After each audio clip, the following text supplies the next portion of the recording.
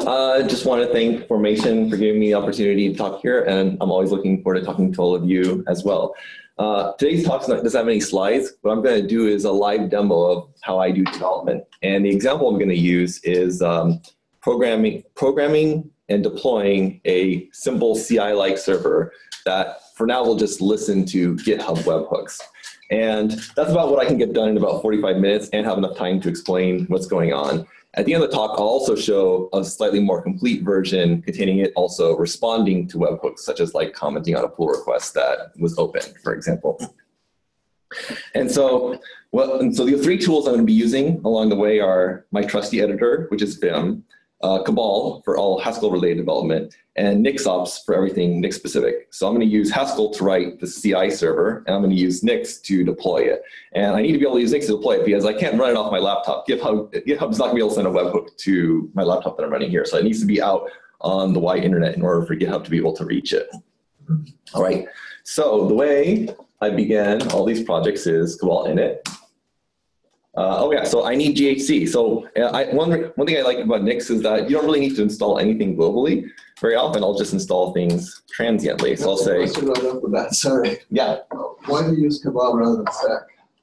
Um, the main reason is because Cabal integrates better with Nix. So if you, so Nix can provide not only the compiler, but also it can provide the Haskell packages. And if you use Cabal, it will pick up those Haskell packages correctly. If you use Stack, you can use Nix to provide the native dependencies, but Stack will insist on using its own Haskell packages. So uh, although I, Ian was saying right before this talk that they're working on making Stack integrate better with Nix so that it can pick up the packages provided by Nix. Um, I don't have any, uh, so actually when I'm not using Nix, I actually slightly prefer Stack. It has a nicer user experience and it's easier to teach to beginners. Um, but for more expert-friendly development, I like I really like to use Nix because you can uh, you get a lot more control not only over the Haskell dependencies, but over your non-Haskell dependencies as well. And it also integrates well with things like CI and deploying servers and so forth. So it gives you like the full picture, whereas like Haskell is just confined to one project. Um, does that answer your question? Yeah. So I here I can say, first off, you can create uh, shells. Uh, so I can say, I, I want to create a shell with GHC in it just so I can run this command. Uh, actually, I can say within that shell, run Cabal init because that's really all I need to do at the moment. And then it will set up the Cabal project and ask me a few questions. There's some package name, default, I like all my projects to be in version 1.0.0 because I feel like you shouldn't release a project if it isn't version 1.0. uh, I have BSD3 license, that's my name, that's my email, no URL, no synopsis. I don't care about the category. I'm gonna create an executable package, uh, main.hs. I like to use the source directory. and I like to put in the top level. And I don't need comments to the Cabal file. All right, and so now I've got an empty Haskell project populated in my directory. And here we have an example, source.main.hs. So how do I compile this? So uh, because I like to use Nix a lot, I can actually use Nix to provide all the Haskell dependencies, but I have to do a few things first in order to tie things up. If I were to just do Cabal build right now, it would fail. I don't know exactly how, but yeah, for example, there's no GHC present, right? But you can hook up Cabal with Nix by taking advantage of a little feature, which is that in your Cabal config, if you add this Nix colon true flag to it, then basically it will run all Cabal commands inside of a Nix shell, and where that Nix shell provides the Haskell compiler and any packages. But in order to do so, you need to basically set up all that Nix logic. And this is most of the boilerplate of setting up a new project. So what I'm doing right here is I'm creating a Nix configuration which will contain all the Nix logic for how to build this Haskell package. And this configuration can have lots of options that you can set, but the key options that I'm interested in setting is just overriding the set of Haskell packages. Specifically, I want to override it to include my package, which I'm building right now. And this is boilerplate, which you got to memorize or look up. I have actually a, I have a tutorial on GitHub, which you can, if you're not sure how to do this, it's called Haskell Nix. It's a repository which shows you how you can do commercial development using a combination of Haskell and Nix, and it walks through how to do exactly what I'm about to show you right now. So if you want to look it up later, that's what you can do. So Haskell package is new. I like to give things long names for clarity. And then I'm just going to add one, one Haskell package to the Haskell package set. And it's going to be the current package, and I'll just, that will be here. So I have not yet created this default Nix file. One cool thing about Nix is that it's a build language that lets you, where files can import other files. So I can say the logic for how to build this specific package will reside in some default.nix file, which I'm about to create. And then, I, and so to actually create that file, I just say cabal to nix, I get my current directory, and then write that out to here. And lastly, I need the shell.nix, which will tie things together. So that will say, create, and create a gigantic package set, which is lazily computed based off of that configuration, which I just specified. And then out of that package set, build the Haskell package named simple CI and give me the environment for Nix shell. So if all goes well, then if I type cabal configure, it should pick up that Nix shell, build, uh, get the right version of GHC, get all the right version of the Haskell packages, and then I should be able to build the cabal project. And so if I were doing this for the first time, this stuff would take a little bit longer. Like you would first have to like, uh, if, it, if GHC is present in the public cache, it'll just download that. Same thing for all the Haskell packages, it will just download them from a binary cache. If you're on like a weird version of GHC or some older versions of packages, then it would build whatever it was not in the public cache. Um, because I did some dry runs of this talk ahead of time, all the stuff is already in my cache, so I didn't have to build anything. That's why this took this went much uh, more quickly. That's one nice thing about using Nix over Stack, which is that in Stack, yeah, the very first time you use a resolver, you have to build all packages from source the first time, whereas in Nix, if they're in the public cache, you can just download them. And so it looks like everything went well, so I'm going to build the project just to make sure everything's connected together. Okay, good. And of course, I can run it, cabal run, and it prints hello Haskell. All right. So the next thing I need to do is I'm going to be using a Cabal REPL to quickly type check things as I go. So I'm actually going to, in a separate window right here, here one second, I'm going to create some smaller windows just for quicker feedback. Well, I'm going to use this more for, since it's larger and easier for you to see, I'll use this as the main development window. So here I'm just going to get a Cabal REPL going. So like anytime I want to type check it, it's ready to go. So if I want to type check, I just say, I, you can't see that, but I'm typing colon R right here for reload. And then if, if everything passes, then that means my project type checks. Uh, one of the reasons I really love Haskell is that uh, I can catch errors much more quickly because you can imagine that if I wait for a deploy cycle to find an error in production, that's a very slow iteration time. So I like to catch things much more quickly on the on the time on time scales of seconds rather than minutes to know that you know I made a typo in some file or whatever. Um, so that's one reason I really love Haskell. That it's really great for faster feedback uh, compared to like dynamically typed languages. Um, so next thing we're going to do is we want to make this. So right now this is not even a service; it's just an executable. But I want to at least start getting it on some server in the wild just to show how that's done. And then we'll actually turn it into a real service. So, and the reason why is because if we go to how GitHub works, so here I created a example test repository I'm going to be using for debugging. And for any Git repository, if you go to the settings page, uh, let me make this a little bit bigger. There. Uh, there's an option called webhooks. Here you can see the webhook I created from the last time. I'm actually going to reuse this because it has some useful payloads, which I want to redeploy. One second. Sorry. So all you need to do to specify in webhook is first the, the, the URL and port of your server, maybe an optional path if you want, the content type for the payload that GitHub will send, in this case JSON, um, and then the events you want to subscribe to. So here I'm just going to say I only want to subscribe to pull requests events. I don't I don't care about anything else. Uh, you can also ask for everything, and we'll send you everything. And then you would just click update webhook. And then anytime there's a webhook, it will send a post request to that service at whatever path you specified uh, with some JSON payload. And we can actually see what those payloads look like really quickly. So here it keeps a log of previous payloads that it had sent. So here, for example, is a payload for opening a pull request. And so you can see here are the headers for that pull request payload. Here's the JSON. And what's really cool about the GitHub user interface is that you can also just say redeliver this payload. So like you, let's say you're, you try to trigger something, the server parsed it wrong or whatever. You say, I want to get a second chance. I don't want to have to like create a whole new branch on GitHub in order to test my change. You can just redeliver the payload, which is very convenient. Um, but we can't do this unless we give it a server to contact. So that's what the next step is going to be. And so to deploy the server, I'm going to use a tool called NixOps, which is the Nix operations tool. And the way NixOps is idiomatically used is you will typically provide two files, one which is called um, logical.nix, which contains the hardware independent specification for your deployment. So things like what programs you're running, um, what services you're starting, what timers or some other system configuration parameters you might set. Then there's another file which might be called physical.nix, which contains hardware dependent settings. So like what machine am I deploying to?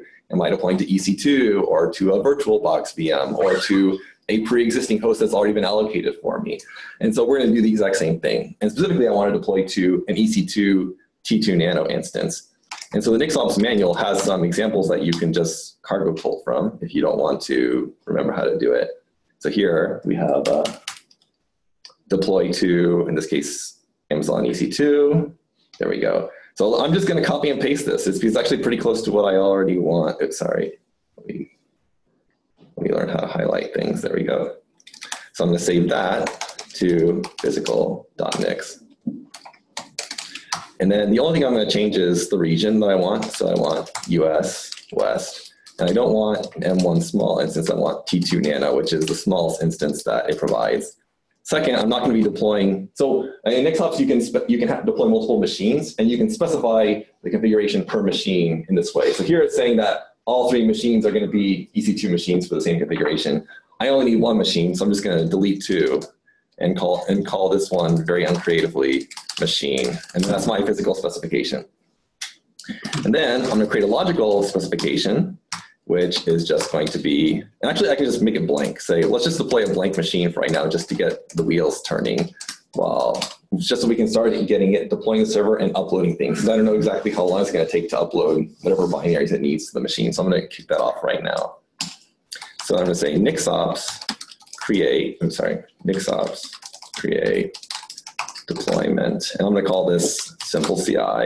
And I just give it the two files that I want the deployment to be based on. And then it'll remember that those files. So I don't have to specify them again for subsequent commands. Okay, and then hopefully this will work. And I say nixops deployment, nixops deploy, simple CI. This will provision the servers and then update them. They're going to be blank servers. Oh, I have to specify um, the, sorry, there's one other thing I need to change for the physical configuration, which is I need to specify what um, what header my AWS access keys are located under in my AWS configuration. So I'm not going to show you my AWS configuration because it's secret, but normally when you set up AWS for the first time, you'll create a file using either the AWS tools or you can also just create it manually, cribbing from a template which and which and it'll be this AWS credentials file. There'll be some header like default or whatever you want to call it. And underneath that, you'll specify your uh, access key ID and or some other secret access key. Um, and then once you do that, then that gives you the credentials to um, purchase instances for deployment. And T2 Nano instances are so cheap that yeah, that's what I'm going to do for this presentation. All right, so now that I specified that correctly, then hopefully this should work. There we go. So it's creating a, a unique key pair for this deployment. It's uh, and then it's initializing the deployment with that. And if you're new to NixOps, basically anything that's prefixed by the name of a machine is a command that's being run on that machine. Anything that's not prefixed by the name of a machine is something that's being run locally. So here, all these you're seeing right now is being run on that machine. And I'm going to let it get going. And then while it's going, I'm going to go ahead and start doing development on the server because it might take some time to actually deploy things. So let me just do that here. And let's start doing some development. We can just watch it run in the background. okay, there we go. All right, so the first thing we need to do is, so we got to pick a Haskell library for writing a service. So there's a lot of options available uh, for writing Haskell, Haskell servers. Um, the lowest level option, there's two, two lowest level options, um, Warp and um, Snap. Those are the most common ones, which are like the base of various web server frameworks. And Warp is the, the more commonly used of the two as the base server. Um, and there's several libraries that build on top of the two. Um, so I'm not going to use the low-level Warp library, mainly because I don't have enough time in this talk to do like detailed error handling. So I'm instead going to use the Servant library, which is a server library specifically dedicated towards um, creating REST-like uh, APIs. Uh, typically, it's not. It, you could use it for like creating like an actual web page for users, but it's more commonly used just for APIs.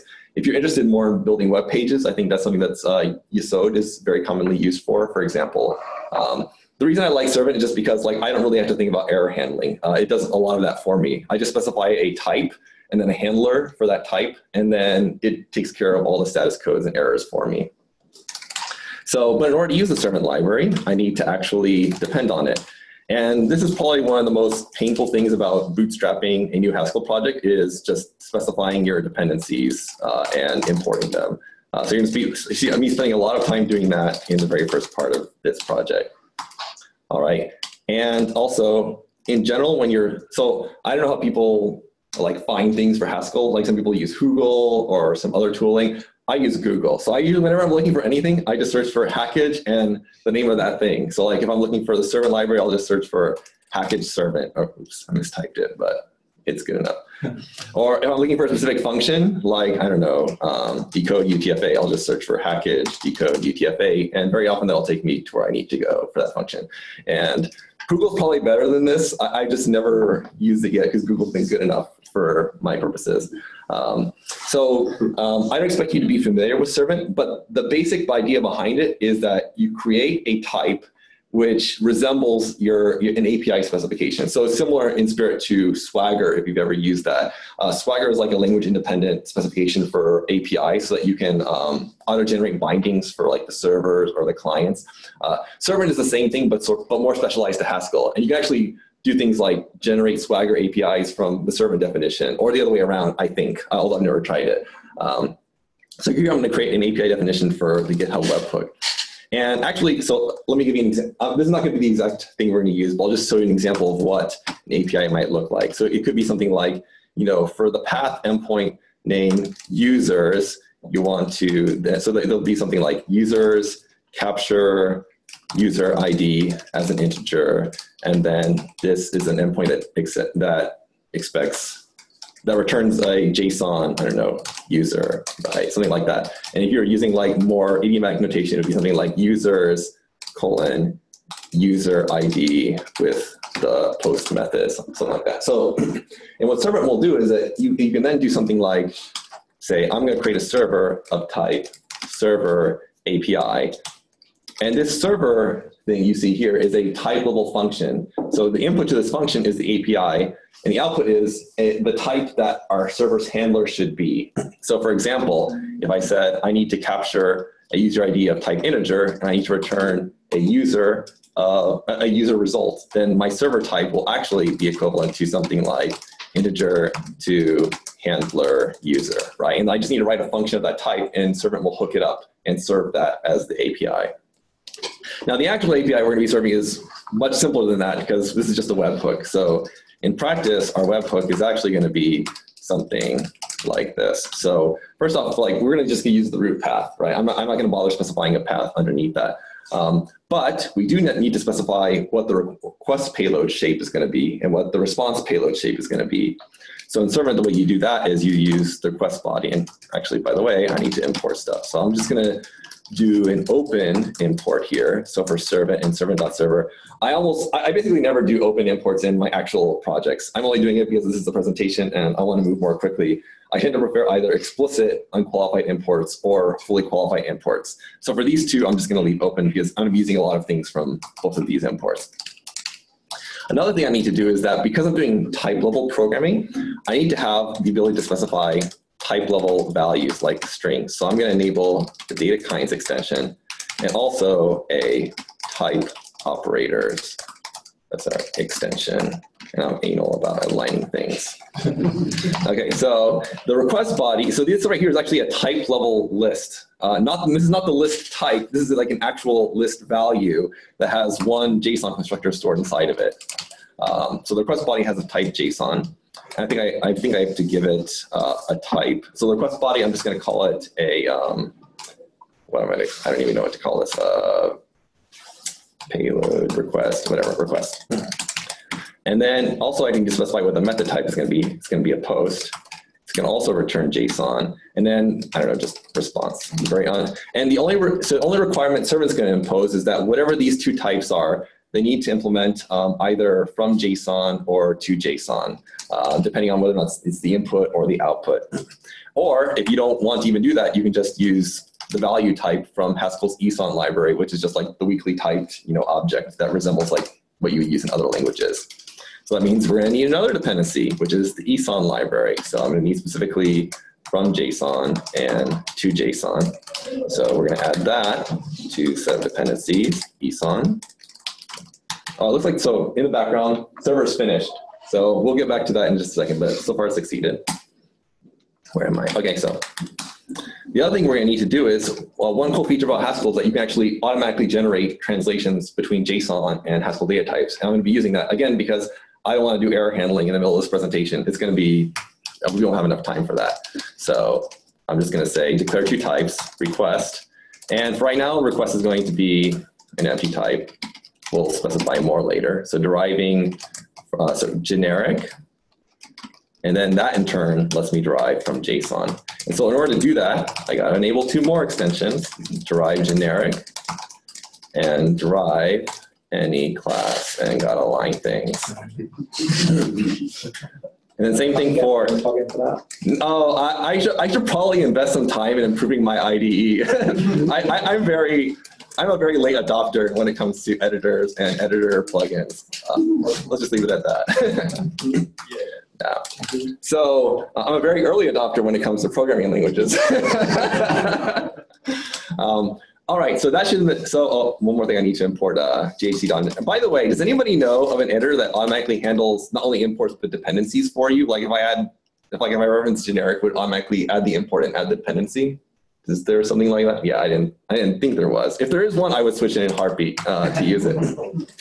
Um, okay, so where was I? I think this is, okay, I think that's probably correct. And so the other thing I need is, I also need to extract the header. And the reason why is because the only way I know, which actually, so technically I don't need to extract the header because I I already asked to filter things by pull request, but I just want to show how you would get the header just for completeness. Um, so in Servant, you would just add that to your specification. Say there's going to be a header uh, whose, whose header type is X GitHub event. And then the value is going to be, it can be any type that implements a certain type class interface.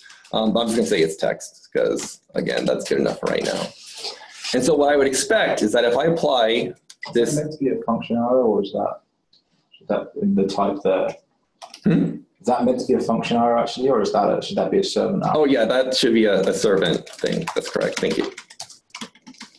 See, who needs an ID when you have your audience?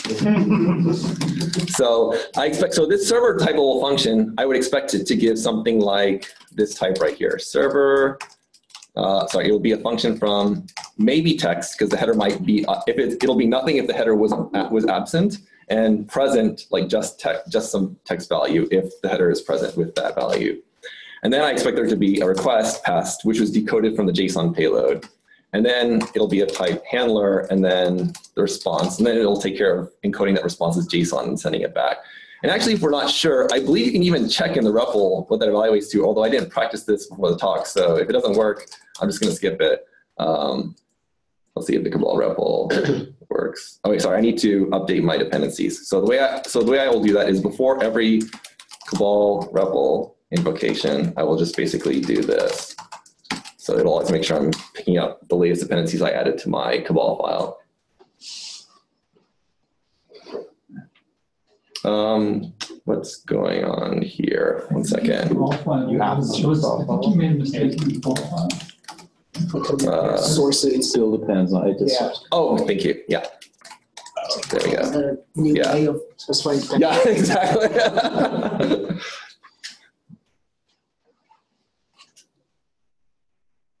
okay. Oh yeah, I need to depend on text. Okay, so again, I kind of wish this kind of thing was done automatically for me, but better than finding out at runtime. Fingers crossed. Yay, okay. So I think the trick to doing this would be some, I think it's like kind server and then webhook. Yes, so that basically tells you what's the equivalent type when you expand it out, right? So that's, uh, you can also, I can also just basically use that as the type. Uh, so either of those would be valid. Uh, actually, let me just. I'll just leave that for clarity. Okay, so now we need to write the handler. So I'm going to say, okay, if the contents of the header are just pull request, okay, and then I need to get the actual request, which I'll just call it request. And then right now I'll just, whatever, do nothing. And then otherwise, I will fail, oops, okay. And then again, I think you want server web, right? Rather than server API. Oh, yes, webhook. I'm gonna find out in just a second. In fact, this is probably good. So let me actually in another, get this, get the REPL going in another window so I can easily just have it always keep it running. Okay. What, what you use unit for uh, response? Oh yeah, I can use unit as a response too. Um, so for example, if I don't care about returning anything, there, like that. So that is that will also work as well. In which case, yeah, it, it'll be that right there. Um, and okay, so let's fix that really quickly. Webhook, then reload. Okay, oh yeah, I need to turn on overloaded strings, which I think is one of the best Haskell extensions out there. It should be. I mean, there there are good reasons why it's not the default, but I pretty much always enable it. Okay. There we go, we're good. All right, and so now let's uh, deploy the service just to show that. So in the background, I'm gonna start deploying that service. So again, let me just create another window so we can start doing that in the background and keep REPL open too. Wait a second. Okay, so, all right, so Nix, sorry, Nixops deploy, deployment, simple CI, and that should be just it. And for the first time, let's just walk through what's happening right here. So Nix, so Nix in general is kind of like make, right? You have this very, oh, so nothing actually changed. Uh, why did nothing change here? I know something, oh, that's, oh, sorry. It's because I never actually referenced it in my uh, logical specification. So now let's show how we can actually tie in the server we just built and into a service that's running on that server. So for example, so one thing that's cool thing about NixOS is it's basically like a unified configuration for everything you could possibly want to do on a server, including like integrations with lots of popular services. Um, so if you search for NixOS options, it'll take you to this cool page right here, which shows you like everything you can configure. Like if you want to like spin up Apache Kafka on your server, you just turn it on and boom, it's going to download Apache Kafka, create a user and a service and give you the tools on the path and so forth. Um, but here I just want to create a systemd service. So I would search for like something like systemd. The actual hierarchy is systemd.services. And that's what I'm going to be using here. So systemd.services, and then this will be the name of the service. And then the minimal thing you need to spin up a systemd service is you need to specify what it's wanted by. In this case, we'll use multi-user.target. And then you need to specify what script will run. And what's cool is then I can actually have this depend directly on my Haskell executable. But I need to do two things. So first thing is I need to take that config, which I created before, and make it accessible to my logical configuration. So this will this will basically teach NixOS how to build my Haskell service, which I just authored. And then I have to bring this packages, pkgs or packages variable into scope, which basically is that gigantic record of every package we could possibly build. And I'm going to interpolate it here. So packages.haskell packages simple CI slash bin slash uh, simple CI, I assume is the name of the executable. And that should be it. And so let's see if that does in fact, uh, well, let me just do. Okay, so let's see if that deploys the service correctly. So this works, we should see it build a service, copy to the remote machine, uh, and then start the systemd service associated with it. And is, so Nix is kind of like make, but at a much larger scale. So if you're familiar with make, you know, you just uh, you specify your build graph, and then anytime something changes, everything downstream of it is incrementally rebuilt. So this is the same thing. So I, so basically, everything downstream of my Haskell executable is being rebuilt. So here, that, that's the actual Haskell project being built. And then now it's all building the set, of the unit file for the systemd service right here. And then this, well, the, then downstream of that is the set of units for the entire system. Downstream of that is the contents of the etc directory. Downstream of that is the entire compressed system configuration to deploy to the service.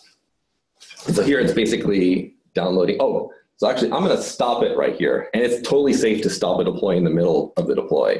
And the reason why is because the Nix upgrades are atomic, meaning that um, you can't have like a half upgrade or an abort upgrade because the way Nix works is that anytime you do an upgrade, it just adds things which are totally isolated from each other in an append-only immutable Nix store.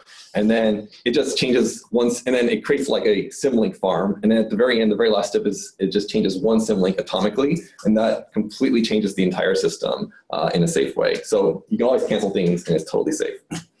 Um, the reason I cancel is because um, right now the project is going to build a dynamically linked Haskell uh, uh, Haskell binary by default. And I want to build a statically linked executable so it has a much smaller profile on the server. Because remember, like I'm using a T2 nano instance, so I want to use a very small footprint. And I also want to make the upload as cheap as possible. So I'm going to make one change to my configuration for how to build this executable.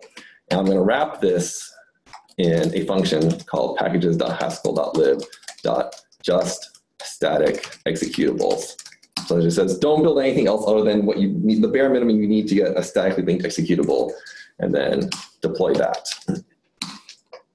And so uh, the advantage of that is it has a much smaller footprint, much cheaper upload time, and it's very friendly for cheap um, hosting options. Um, and so actually, there's one thing that I never actually specified, which is that how are we building this, this Linux executable uh, for this service? Um, NixOps actually provides several options. Uh, the default is that NixOps will try to build on a target machine. Um, but in some cases, that doesn't work that well. Um, specifically, if you're using OS 10 and a multi-user Nix installation, it's actually really difficult to get working. So here, what I'm actually doing behind the hoods is I have a Linux VM running locally down here. And basically, I'm, uh, in Nix, you have the option of delegating builds to other machines. So I basically set up my Linux VM as a, as a build machine where I can just delegate anything Linux related to that.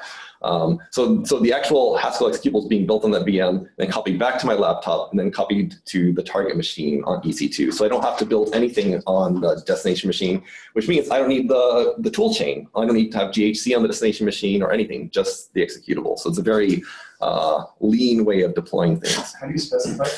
Like, how, do you? Oh, how do you specify? Um, it's so the, the easiest way to do it by far is if your development machine is a NixOS machine, because then there's several options. To, so like, let's go back to our set of NixOS options, right? So we, if we go to um, distributed, so yeah, here are the two options. So you, you turn on distributed builds, you just set that option to true, and then there's a build, and then you have the build machines uh, option hierarchy, which tells you like what, what's the address of the machine, what SSH user, what key you're going to use what platforms it, can support for building, how many jobs to build on it, and so forth. And then if you do that, it should just like set up everything for you, and then any builds will be delegated appropriately. Um, if you're not using NixOS, um, then you need to read the Nix manual, which basically tells you how to do this manually. So it involves like creating some files, setting some environment variables, and um, creating some signing keys and things like that. Which you've done because you're on Mac. Yeah, which I've done because I'm on Mac. Yeah. So, I have a question. What's the NixOS machine? What is that? Oh, so first off, the machine I'm deploying to is a NixOS machine. So NixOS is short for Nix operating system. So it's an uh, it's operating system that is uh, has a, a immutable declarative functional specification. Um, the main, uh, so probably the best way to learn about it is to go read the NixOS manual. And the Nix manuals are like really long, but really good. And almost every problem I've ever run into in Nix was something where I said like, I really should have read the manual because it explained how to solve this problem. Um, so NixOS manual can probably sell this better than I can in the introduction. Here, one second. Is that a virtual machine? Uh, NixOS can be deployed as, no, it, it NixOS is the operating system, not the, um, not the, um, so you can deploy it to a physical machine or a virtual machine or, you know, EC2 or Google Cloud or whatever. Um, so the nice thing about it is like literally everything in the system is configured in the exact same way. So like in a lot of other systems, like, you know, in order to configure, you need to learn about like how to configure Linux boot parameters or how to configure systemd or how to configure, you know, grub or how to configure ALSA. And they all have their own little, you know, bespoke configuration format that you got to learn anytime you want to change any option. And NixOS, everything is like the exact same format. So it's really easy to learn how to configure new things on it. The other advantage is that like um, upgrades are atomic, uh, integrates really well with the whole rest of the, uh, the Nix ecosystem, and also deploy tools like NixOps. And uh, and you can also like so remember how I said that you can use distributed builds, right? So I can anything.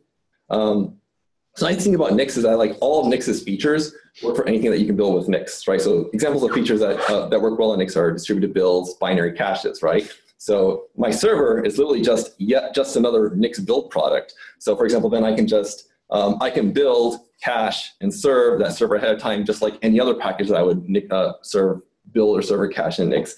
And I can delegate the build of my server just like any other thing I can delegate in Nix. Um, so that's actually one of the killer features of Nix is that the exact same abstractions span several layers of um, abstraction hierarchy, right? So like, I don't have to learn separate things for like operating systems or packages or systemd services or cluster deployment or containers, all one unified abstraction that works uh, composably at each level of the hierarchy. Um, so that's the that's the Nix marketing uh, elevator pitch. So. Okay, so it looks like the deploy uh, worked successfully. So I can now SSH into the server. So SSH deployment, simple CI, sorry, machine. I need to type there. Okay.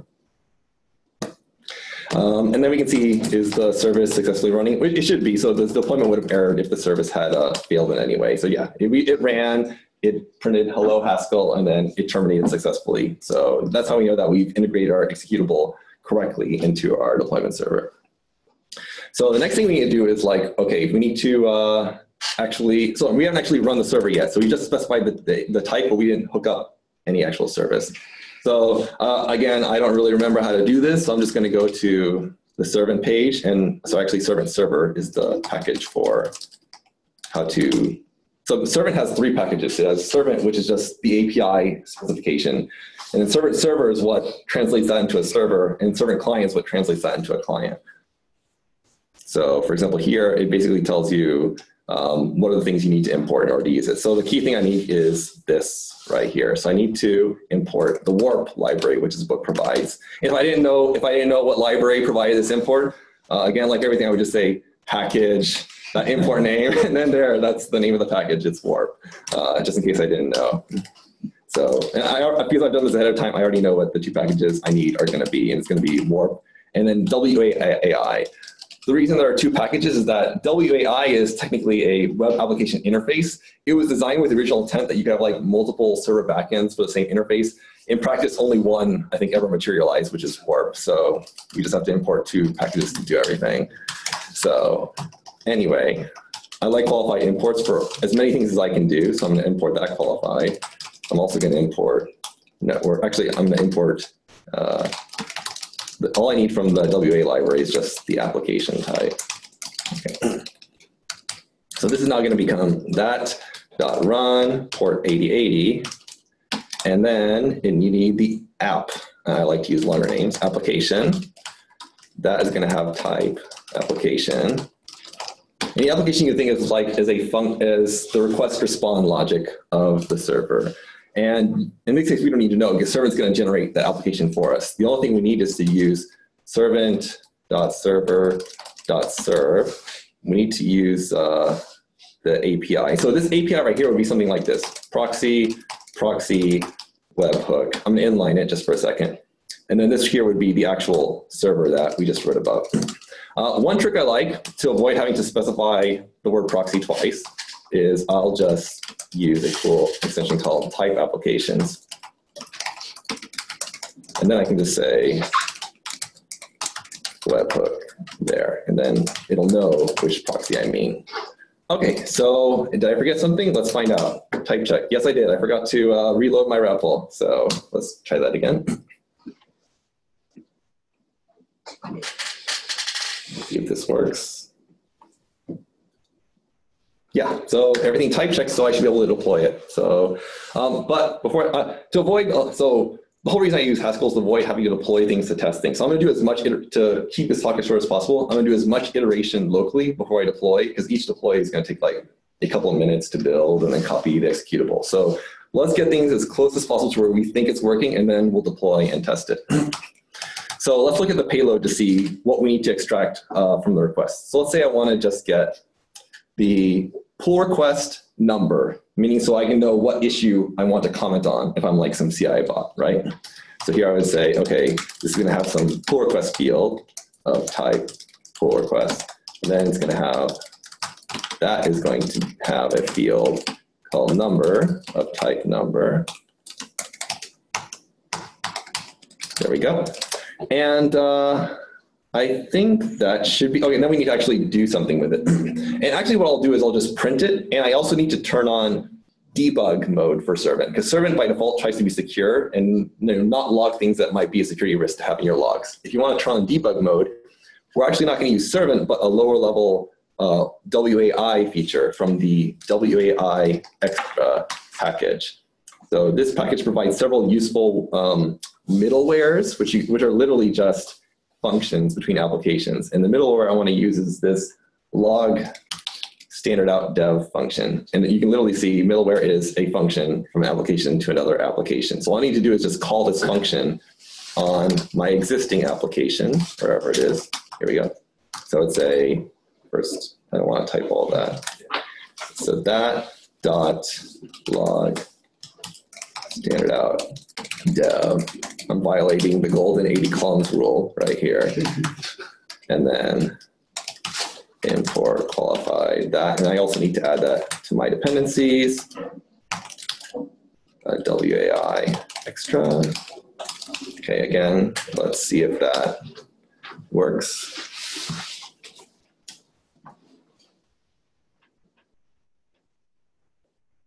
And so normally I would make a lot more mistakes than this. The only reason I'm making so few mistakes is because I've rehearsed this talk three times before doing it here. you would see a lot more type errors than this if I were doing this the very first time.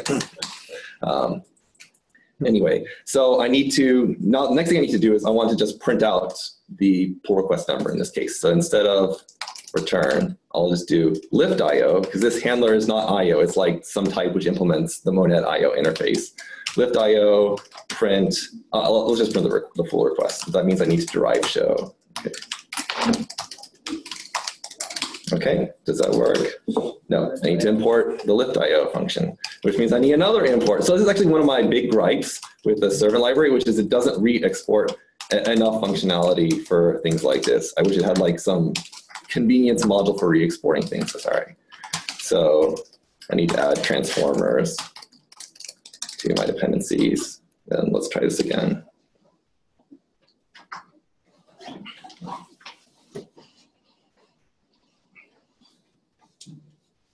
That looks good. Okay, so now let's see if we're receiving that webhook correct. So now let's do the deploy.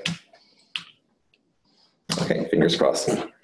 So then, so what we're gonna do is while the deploy is going, let's get the webhook ready. Okay, now yeah, there's nothing else to do except just wait. So if this works correctly, we should be able to, actually one thing I'll do while the deploy is going is I'll log into the server really quickly. So nixops, SSH, deployment, simple CI, my the machine. I'm gonna tail the logs of the server. There we go. So we will we'll be able to see when the server restarts. And so if this works, then we'll be done. we can, and then we can move on to the next talk. And also, I'll do one more thing before we go, just to show the full service. Also, using GitHub API as a client, so it can deposit a comment in response to the pull request. Uh, I won't code that live. I'll just show the complete code example. Okay, so it looks like the service started. So actually, before we go, let's just test it with curl to see what happens. Uh, I'll just do it in this window. Uh, so, oh, wait, actually, I know it's going to fail because by default, um, only port 22 is open and our service is listening on port 8080. So let's, if I want to add something to the firewall, again, go back to the NixOS options, just search for firewall. And here I want allowed TCP ports. And so 22 will always be present. We can add to that list like this. So networking.firewall dot allowed TCP, was it lowercase capital, okay, TCP ports equals 8080, and that opens, again, I don't have to learn the IP tables rules, right? This is all just one configuration format. You, you still want SSH too. I was gonna say. Oh, no, no, no, that's okay. So um, the reason, SSH will still be on. And the reason why is because um, some NixOS options have, so NixOS options have types, and the types specify how you combine multiple duplicate definitions. Um, so for example, for the list, so if, a, if an option has type list, um, then by default, if you define it multiple times, it'll just concatenate the list. And so that 22 is already defined in some other module, and it'll get concatenated with the 8080 to, to get the full set of ports. I also know because I tried it before, so I know it work. Otherwise, I'd be locking myself out of the server, which I've done on many occasions, by the way. How do you disable a port then if you wanted to disable a port? Like if you didn't want SSH for some reason? Um, good question. So actually, in NixOps, so let me let me correct what I said. NixOps only enables port 22 by default for certain hardware, for certain physical profiles like EC2 or virtual machines. Um, if you're deploying to a pre-existing host, um, it will not enable any ports by default. And so if you don't include 22, you will lock yourself out of the machine. And that is one way I have locked myself out uh, historically. Um, okay, so now we're on, so we deploy the machine, the port should be open. And now let's just test that. So curl, here's the address. We can also, if we don't know what the address is, we don't want, if or we didn't save the logs, it would be nixops info deployment, and then it'll tell us, uh, oh, sorry, um, de- wait, de- oh yeah, deployment simple CI, yeah. And then here, this is where you could get the IP address. And also, because we're deploying EC2, there is a, not a Nix OS option, but a Nix ops option to specify um, what, uh, to automatically provision a DNS address for the machine if you want. Um, so if you ever want to find the Nix ops options, that would be in the Nix ops manual, which is separate from the Nix OS manual. Um, so the IP address is here in this case. So I would say, okay, curl, um, post. Uh, I also need to specify its application. Let's, let's do it without application JSON header just to show that it will fail. So um, post HTTP that 8080, I expect, and then also some data file. So like, let's just do an empty JSON record. It's gonna, um, so let's do verbose so we can actually get the error. So it says, um, yeah, unsupported media type, because I didn't specify, Servant is pretty strict, and because we specify we want JSON, it looks for the application JSON header. And I honestly need to look up uh, how to get the application JSON header with Perl, a curl. Dash. Yeah, so I, I use Stack Overflow, so. there we go. Because I also don't remember the exact uh, content type either. Okay, here. So now it's saying it's giving a new error message, which is that we're missing the key pull request from the server. Before I continue, let's just go, go to the webhook and see if the webhook works. Um, okay, so now let's update the webhook so it uses the new server URL. Okay. That looks right. Okay, application JSON, webhook. And if it all works, I should be able to send this webhook and the server should log it. Yes, redeliver this payload. And then let's look at the logs. Aha, success. So in this case, yeah, here's what came in. The request, pull request, number equals one. And this, but I know that I know that it's going to although the server registers success, I know GitHub's going to register a failure because um, by default, GitHub is, oh no, it's just, it's a success. Never mind. it succeeded.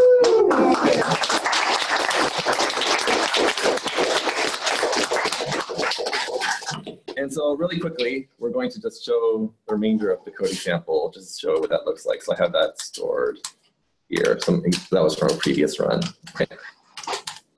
So here's a more worked example. So here's the original webhook API. And then here is an example of me using the GitHub as a client. So, so GitHub requires the authorization header, a user agent, it's on the repos path. So the repos is one of the path components. The next path component is captured and it's called owner. Then the, then the, the name of the repo, then the new path component for issues, then the number of the issue you want to update, then the comments, and then the actual comment payload. And the comment payload is just a JSON with a single field called body text. Uh, and then the response would be like, you know, the ID in this case or something like that.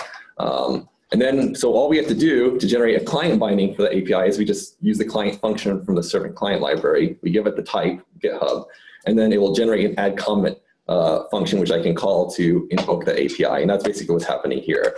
I'm basically providing the authorization, the user agent, my name, my repo, then the and then the number extracted from the pull request that I got from the webhook, and then I, I post the comment to that uh, to that pull request, and uh, that's it. Go to top.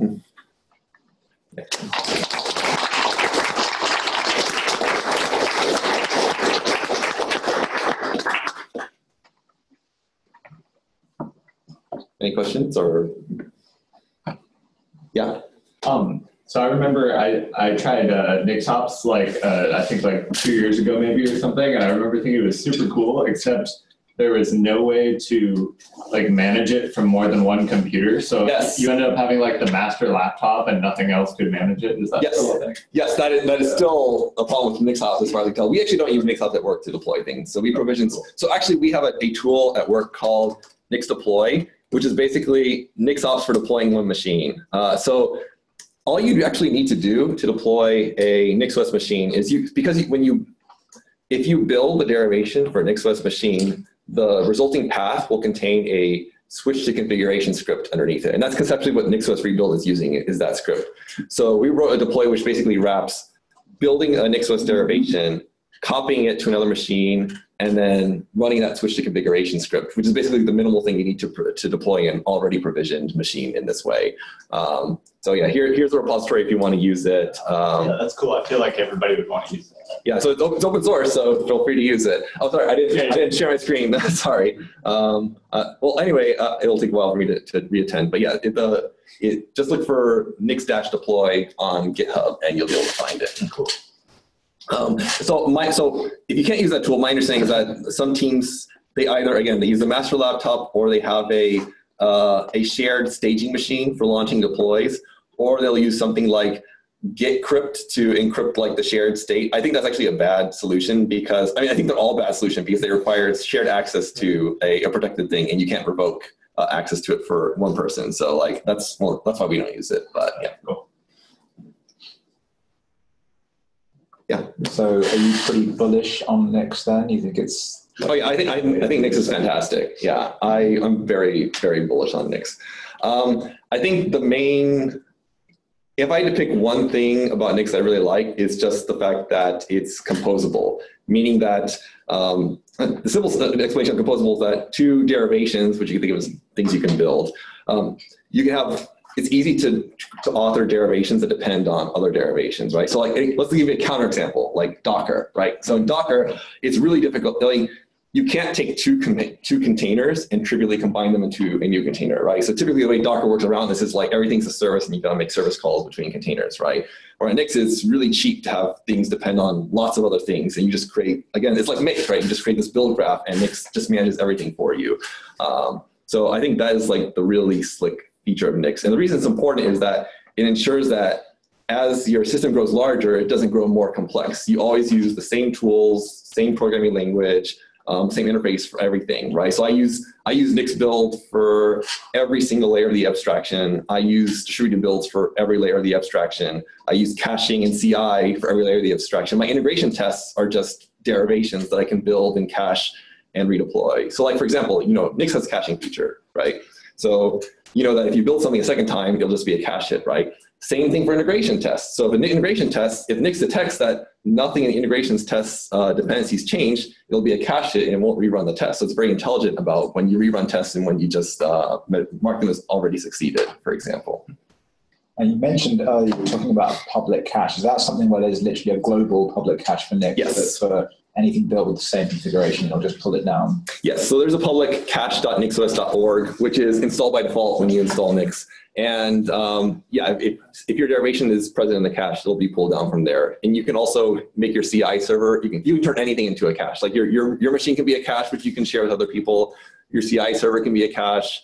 Um, the, the build machines for the CI servers can be cached. Everything can be turned into an ad hoc cache very easily. So uh, in fact, the NixOS has an option called nix-serve, which if you enable it, it just turns your machine into a cache.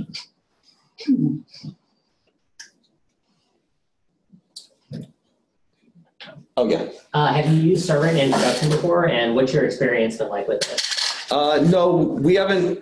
I don't think we've used Servant. Well,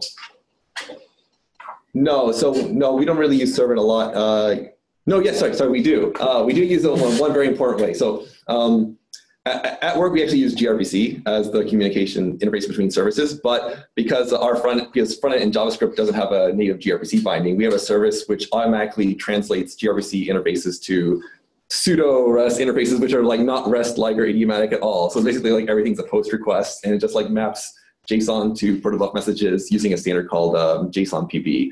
Um, so that's all code generated, uh, so that we don't have to maintain that mapping. Um, that's and, and the generated API is a servant API. Um, but in other cases, we use a gRPC API.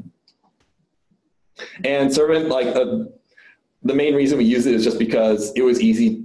It was easy to use, and we didn't really need really sophisticated like error handling or uh, for it because it's an internal API. Like if it was a more public API, we might actually we, we, we do use it for public APIs too. But again, like we didn't need, need really um, D shell control. Like we just the default was good enough for our case, which is why we used it. Yeah, How long in your first time rehearsing was this taking? three hours. yes. And actually, the, the first time I did it, so I actually wasn't sure how, how exactly to go about it. So my first my first tact was to use warp and then use JSON values directly using like Lens to navigate the JSON values. But then I had to do so much error handling both for the warp and for um, Lens Aeson. I was like, no, you know, I, I'm not going to do this. Let's just use Servant and um, drive from JSON or to JSON, and that went much more quickly. So actually, both approaches were within the three hours. Uh, but yeah, and then after that, the second try was about uh, an hour. But that was doing the full CI service, including like the comment handling and so forth. Um, so yeah, that's roughly what it took. It will, um, uh, Nix is extremely popular in like well among Haskellers. Um, can you speculate, like, you know, if we ignore Docker, like, uh, will it ever become like, you know, used with other languages? Do you think like, why, why it's not being used, but like, what's, what's stopping it? Um, usually, so I think the languages it integrates best with are C, Haskell, and some recently uh, Python, and more recently um, JavaScript slash Node via npm to Nix. Um, we also used it for internally. We're actually just experimenting using it for Scala too. There's an SBTix project that actually worked for us, and we're probably going to switch to it. Um, I don't know for Java. I don't think I don't know if there's anything for Java per se. Um, yeah, it basically comes down to whether or not a language has an existing um, Nix integration or not. Like the reason why, uh, so languages that have like a make-like build format, like like uh, oh, sorry, Go. Go is not a language actually integrates pretty well with too. Um, anything that has like a make-like way of building things integrates pretty straightforwardly with Nix. If your language has like a really complicated tool, um, then I mean, let me put it this way: like integration means like efficient integration, right? In the worst case, like anything you can do in a shell script, you can do in a Nix derivation, right? So like the worst case scenario, you could just like wrap a Java build with like whatever Java command you would use to run the build. And that's actually how we initially wrapped some of our Scala builds. We just like literally built our SBT project from scratch every time we did it, right? But it's not very efficient, right? If you use something like SBTix, you get much more incremental and inefficient uh, Nix builds because then basically every um, object in the SBT build gets its own Nix derivation, which is a much better uh, experience. So what we did initially, for example, for, for Scala was that we used Nix for building it in CI, but then we would just use Nix shell to revision the development environment. And so that way people could still get incremental builds when doing development locally, but CI could build it from scratch. And it turned out that wasn't that was really not much worse than the way it was doing it before, because even before using Nix RCI was already rebuilding it from scratch each time too. That was tech debt though. um, so the point is you can integrate with languages in a very crude way. It's just like a shell script that runs whatever package manager or build command you normally do. Um, but usually Nix tends to take off once it has much better integration with a uh, particular language. Yeah. So um, outside of NixOS and NixOps, um, you kind of need immutable infrastructure so that you don't you avoid like state in your infrastructure. That um, it sort of feels like this is a different thing where you have long-lived infrastructure and it kind of has state in the sense that there's a Nix cache, Mhm. but the state doesn't really matter because it's like you can recreate it. Right. Um, so is this like you kind of you get fast deploys because you don't have to spin up a new EC2 instance, but you get all the benefits of immutable infrastructure in that it's repeatable and it's immutable. Yes. Um, so yeah, the, the yes, so Nix is uh, it's I I think the, the key thing is that it, Nix is isolated, right? So um, like as, as Rust people like to say, right? So share, shared immutable is bad, right? So you either fix it by removing sharing or removing mutability, right? So in, in Nix case, you do it just by uh, in this case re- uh, removing mutability. So everything is immutable, and as a result, it's if they share things in common, that it's totally safe because they're not going to mutate their shared dependency. So that's why you can just keep reusing the same infrastructure to deploy. You can deploy wildly different things. So like we have sometimes these long-lived um, hard, um, physical hardware in our data center that will redeploy to lots of different you know, actual um, uh, configurations. It doesn't matter what was previously deployed uh, because like it, it's again they're isolated from each other because their dependencies are immutable. Um, so yeah, it's very safe to reuse infrastructure this way. You don't have to like destroy and repave systems to get the isolation guarantees that you would need with other ecosystems. does seem like you're not practicing the, uh, the case where you lose infrastructure. Do you, do you feel the need to occasionally destroy the long-lived infrastructure just to make sure that the provisioning step still works?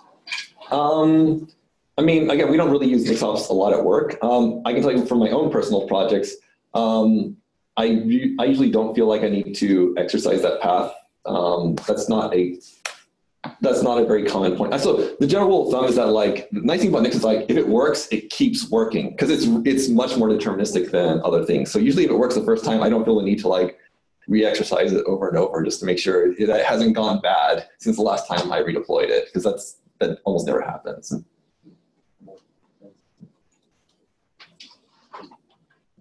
Yeah. Um, when you get packages uh, installed from Nix, what what kind of versions are you getting? And maybe can you kind of like compare that to like how does it compare to getting it from like a stackage LTS version set? So Nix is very similar in spirit. So in spirit to Stackage, meaning that it's a curated package set, not just for Haskell packages, but for native packages too. Um, and it's similar. It's also similar to Stackage in that um, the latest Nix packages tries to track the latest versions of all packages, and then they tweak it as necessary to get things to build. So um, if you're on the latest Nix, and also again making an analogy to Stackage, um, Nix packages has releases like you know 1709, 1803, whatever, and each of those releases would be like analogous to an LTS resolver in Stackage. Um, so you can either decide to, to like pin yourself to a stable LTS release, which is like what we do at work. We have a we pin to a Nix packages revision that corresponds to one of its stable releases, um, or you can track Nix packages unstable, which would be analogous to Stackage nightly, and to get if you want to get more recent versions of packages. Does that answer your question? Yes, it does. Thank you.